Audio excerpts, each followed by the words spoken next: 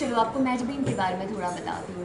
Mahjabeen is someone who is crazy she is someone who can say anything irrespective of the situation and उसे तैयार होना बहुत ज़्यादा अच्छा लगता है। लाउड एक्सेसरीज पहनना अच्छा लगता है। लाउड इयर पहनना अच्छे लगते हैं। सिंपल सिचुएशंस में भी you know she will some like real colourful clothes lot big accessories and she is very colourful as well in terms of the dressing.